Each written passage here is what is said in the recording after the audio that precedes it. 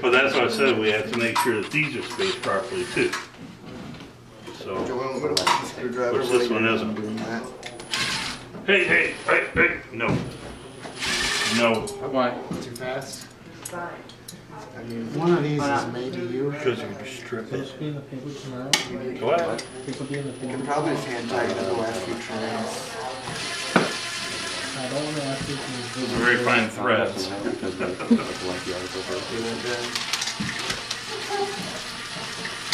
I am not a believer of using power tools for doing that part. Small stuff. Well, especially impact like that, because they have a tendency of not knowing. Most of these students have never used hand tools, Oh, yeah. very little, so I try to give them the fundamentals of learning that